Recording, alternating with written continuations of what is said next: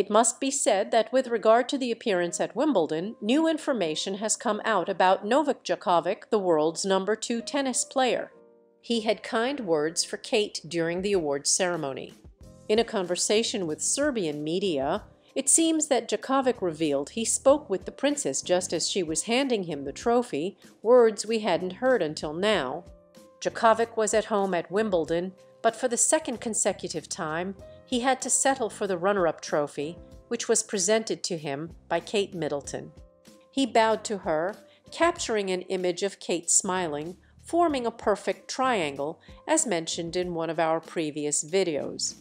After the match, Novak Djokovic revealed he expressed his happiness to the Princess of Wales for seeing her in good health after serious health problems.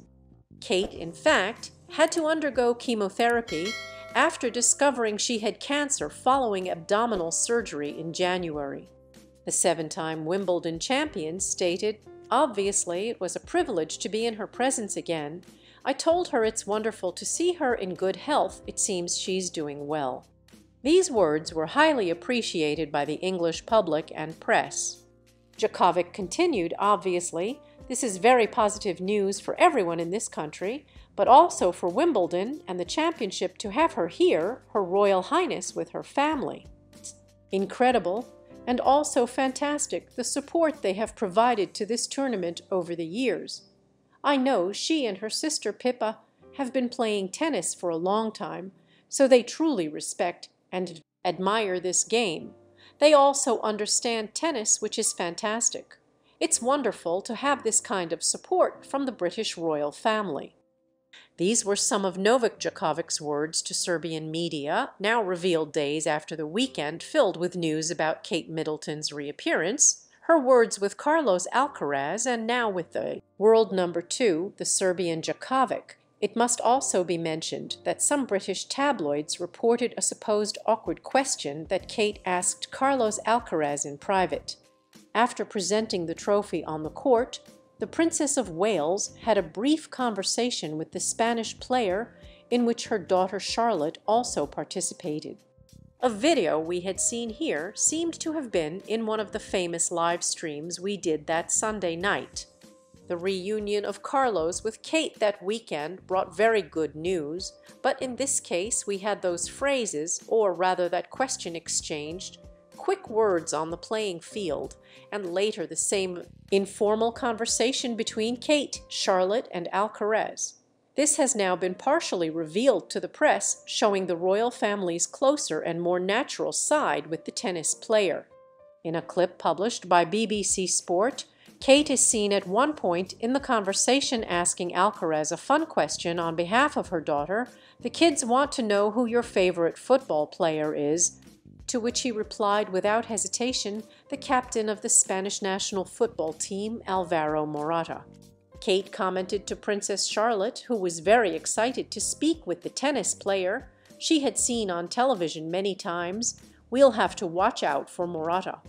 This whole chat revolved around the upcoming Euro Cup final between Spain and England, which Spain eventually won.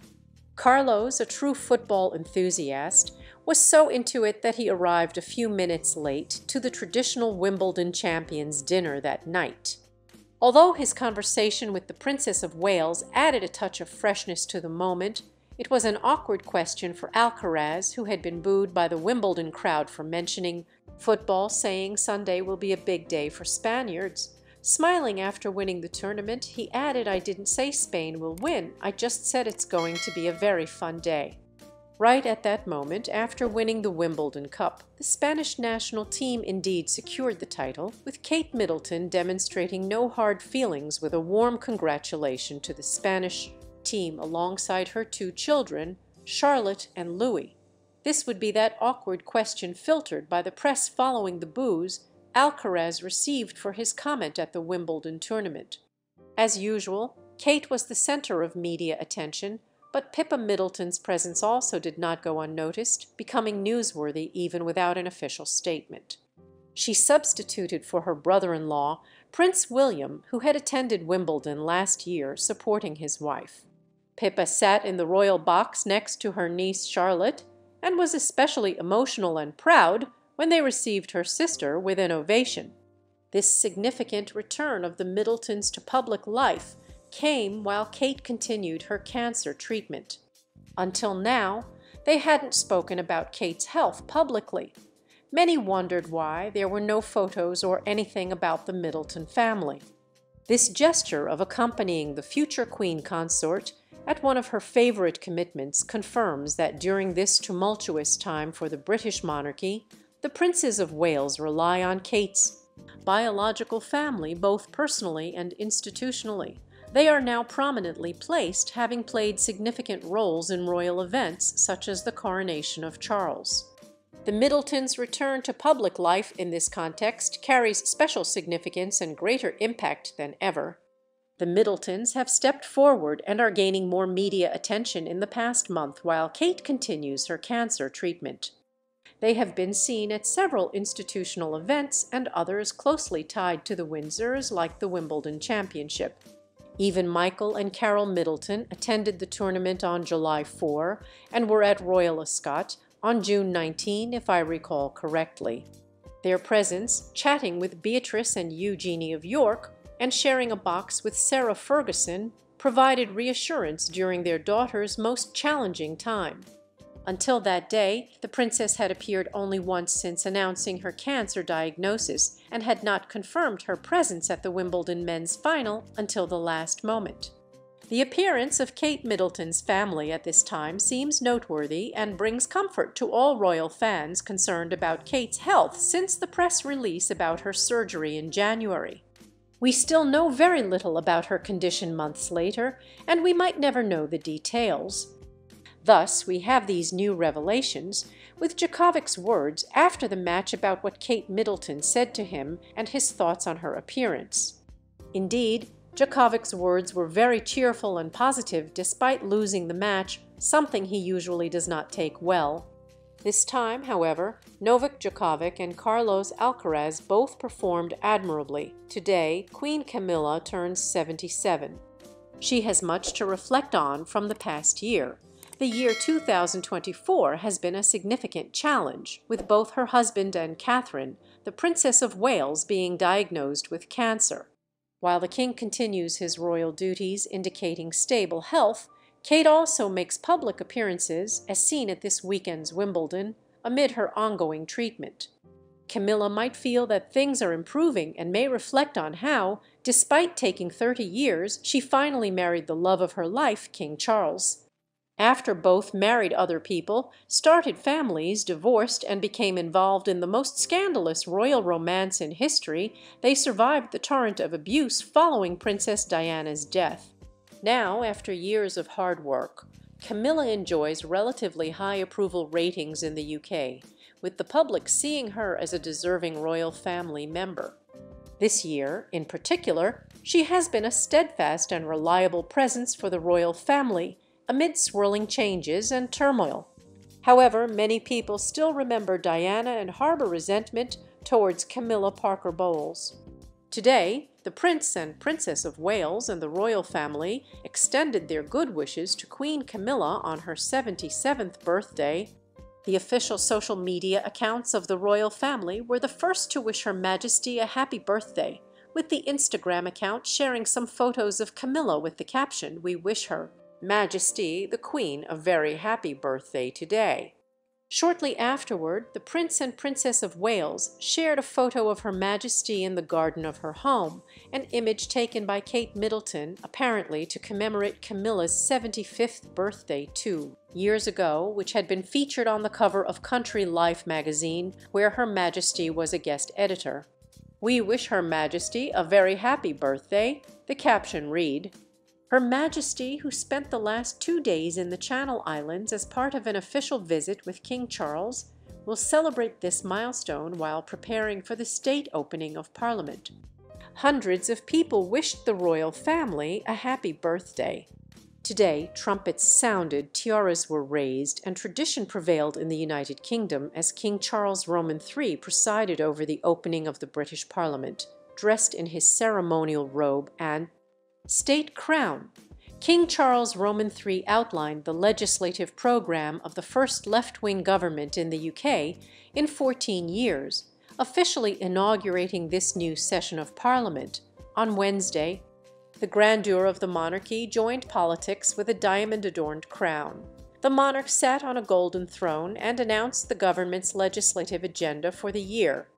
The King's speech was the centrepiece of this state opening of Parliament, and also an occasion for Prime Minister Keir Starmer to demonstrate how he intended to fulfil his campaign promise of achieving bold change at a modest cost. As I mentioned, the King read a speech written by His Majesty's government at the state opening of Parliament, marking the formal start of the new government's work and setting out the upcoming legislation and planned state visits for the year. Photos and videos of the royal family from just a few hours ago are being shown here on screen in this new report. King Charles Roman III had a 10-minute intervention in the House of Lords in a ceremony marked by tradition. The monarch listed some of the more than 35 bills that the executive under Starmer had a majority to pass in the coming months. This was not the first time Charles read the so-called sovereign's speech he did so with Rishi Sunak when he replaced him in May 2022. The monarch was transported to the Palace of Westminster from Buckingham Palace in a carriage pulled by six white horses, accompanied by Queen Camilla, who coincidentally turned 77 today, this Wednesday. Upon entering the upper chamber, King Charles Roman III wore the imperial state crown, which is kept in the Tower of London throughout the year and symbolizes the important relationship between the monarchy and parliament. This piece weighs more than 1 kg and contains nearly 3,000 diamonds, 17 sapphires, 11 emeralds, 5 rubies, and 273 pearls. As for the Princess of Wales, royal commentator Richard Fitzwilliams has recently said it is very likely that Princess Kate Middleton will appear again in the future. We wonder what the future holds and when her next appearance will be, this renowned UK royal commentator told the magazine that Princess Kate had dazzled at Wimbledon, where fans received her with a well-deserved standing ovation. According to this expert, Fitzwilliams said he believed we would see more of Kate from now on. In statements to The Sun, he said he thought it meant a lot to the Princess of Wales to be there and witness it all, fulfilling her duty as patron of the All England Lawn Tennis Club, which is close to her heart. It was also a very touching moment when she received a standing ovation, demonstrating how much people cared for her during these difficult months when she underwent a major abdominal operation and preventive chemotherapy, which was overwhelming. The commentator described the princess as relaxed and at ease during this event and praised her appearance as vital and joyful for the royal family. I think if you wear such an impressive purple dress and carry it with the grace and beauty that only she can, you know where the main attention will be, apart from the tennis court, of course. Fitzwilliams added, he also believes there may well be more appearances in the near future. It's a very complicated time for the royal family, with two senior members, including the king, battling cancer. In this case, someone not present is Sarah Ferguson, and this would undoubtedly be a step forward, a step that made people happy. That standing ovation for the Princess of Wales was well deserved. It's said that the next appearance of Kate Middleton is expected soon. In fact, some speculate she will attend two more events this year, including the Remembrance Day service and the Christmas parade at Sandringham. We'll see if this prediction comes true. Perhaps we'll see more of Kate in the summer. I predicted that we would probably get a photo soon, as comments always circulate about the royal family, especially on social media, where the accounts of the Princes of Wales are constantly active. An article from People magazine highlighted all the photos of Kate at Wimbledon, considering them the best photos according to the magazine, which has frequently covered Kate with many exclusives about the Wales family. Today they published what they consider the best photos, the first one arriving in style along with Princess Charlotte crossing the famous bridge seen in recent years in videos of the Princess of Wales arriving at the Wimbledon trophy presentation.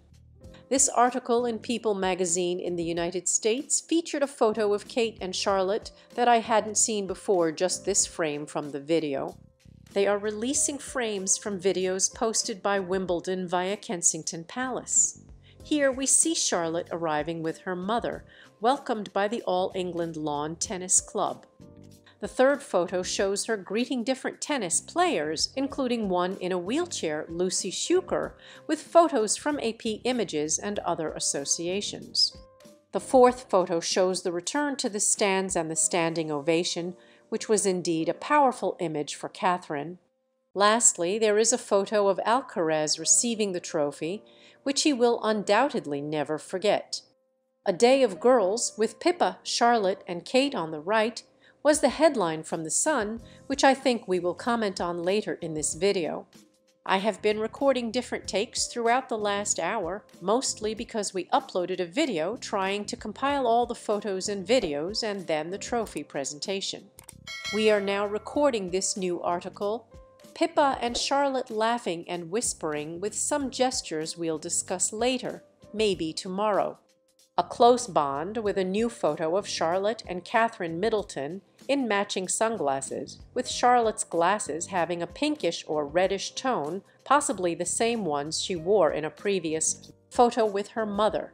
These are the eight best photos according to People magazine from this event, although it lacks photos of the trophy presentation. I just published a video of Catherine Middleton's reappearance at Wimbledon, a video that was a bit difficult to upload due to copyright issues with Wimbledon, especially for the tennis final. I will try to create this video with images and some videos, but it's quite challenging due to the strict copyright. We will also talk about Princess Charlotte, who the media referred to as the protective Princess Charlotte, staying close to her mother while enjoying the men's Wimbledon final. According to The Sun, the nine-year-old girl stayed very close to Catherine when they arrived at the All England Lawn Tennis Club. During this final between Novak Djokovic and Carlos Alcaraz, she stayed close to her mother in the royal box, making some slightly concerned gestures. When they arrived, they greeted the staff before entering, with Kate wearing a purple dress and Charlotte in a blue dress from Guess, worth around £70, and cream-colored flat shoes. She continued to stay close to her mother as they took their seats in the royal box. Kate hasn't been seen in public events without her children, with Charlotte this time and previously with Louis and George. An incredibly moving moment occurred when Charlotte looked proudly at her mother, as some royal commentators mentioned.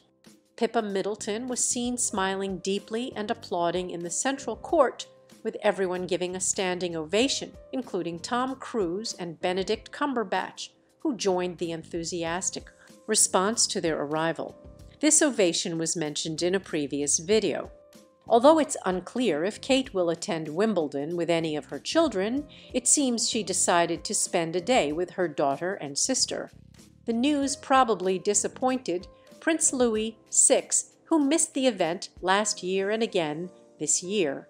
The crowds will surely miss Louis, known for his fun antics. Last year, at Trooping the Colour, Prince Louis's antics were widely discussed. In a televised speech in March, Catherine announced her battle with cancer and spoke about her children, saying it took a long time to explain to George, Charlotte, and Louis appropriately and reassure them she would be fine. She said she was fine and getting stronger every day, focusing on things that would help heal her mind, body, and spirit.